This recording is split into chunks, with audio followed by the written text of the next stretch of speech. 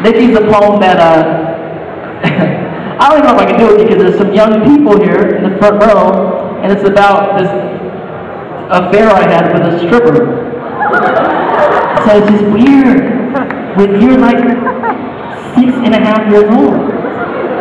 And what's crazy, I don't know if I can do that poem now that I'm looking out. But you can check that poem online, and the crazy thing is, for like fans here that are fans of Zuko, someone went through the whole poem and has has Zuko doing the poem. It's just crazy. They edited the whole thing. I don't know how they did that or how long it took, but it was crazy. I got a piece of it. I knew this girl named Nikki. I guess you could say she was a sex fiend. I mean, she was a dancer. Well, actually a stripper. That is to say, to see a naked, you have to pay. Anyway, one night I was in a devious mood. I rendezvoused with my boys to the club up the street. Live, totally new girls. Ten bucks a head, 18 and over. You must have ID. So there I sit in this seedy joint, tripping with fear, wondering what would my mom think if she ever caught me here. Then out comes this girl, petite physique, body was perfect to me. You see, then I was caught in a moment. I'm looking at her, looking at me.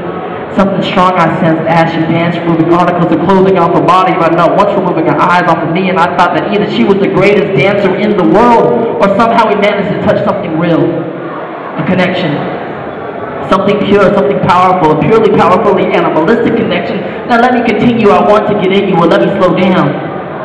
See what I'm saying? This, now this is going crazy, Steven. It's going crazy. We have a six-year-old in the front seat. We're going to leave that story for later on. Check that one online. That was like a little sneak of it.